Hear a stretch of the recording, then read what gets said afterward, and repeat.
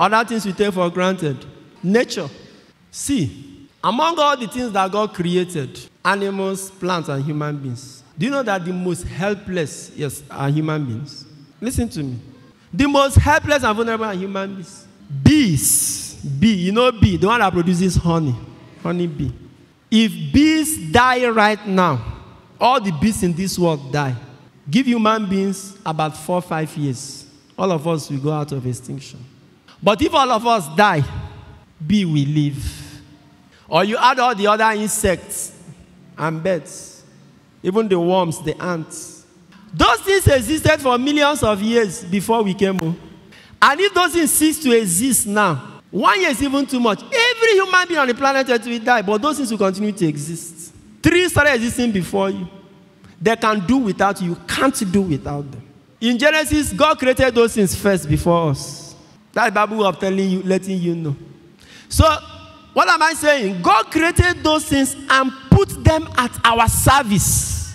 It was not fasting and prayer. It was not season. It was not tight. That gave you the essential things that you need to live.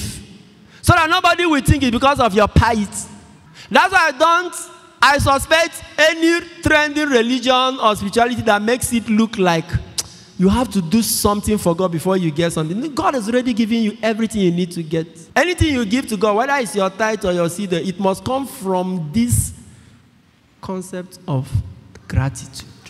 Religious people do not know that the bee is more important than you as far as biological life is concerned. Ants, they can live without you. If God remove us human beings from this earth, it will continue. All these are houses, one day they will turn to vegetation. You will see more trees. You even see more animals. If we cease to live now, all those snakes we pursue go bush, all of them will come back. But remove all those things, man will not survive.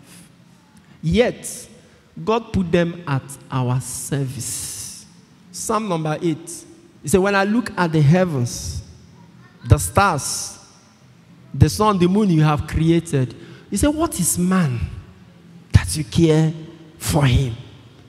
Mortal man that you keep him in mind. In other words, Lord, when I consider the grandeur of this other creation, when I consider the fact that they can exist without us, but we can't exist without them.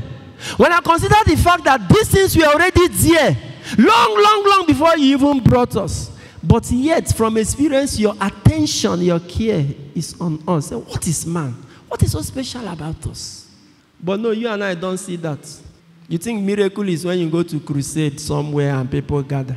And one woman, I was frying akara and the oil go, went up and came down. It didn't touch me. Praise the Lord. Hallelujah. And that is why many people don't give thanks to God until something dramatic happens. Not knowing that the reason to give thanks to God has already overwhelmed.